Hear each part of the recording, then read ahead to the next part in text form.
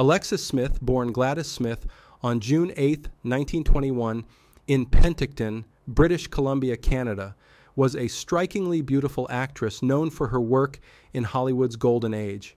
Smith's career spanned over five decades, featuring roles in both film and theater. An interesting fact about Smith is that she was often cast opposite some of the biggest male stars of her time, including Errol Flynn, with whom she appeared in several films, such as Gentleman Jim, 1942.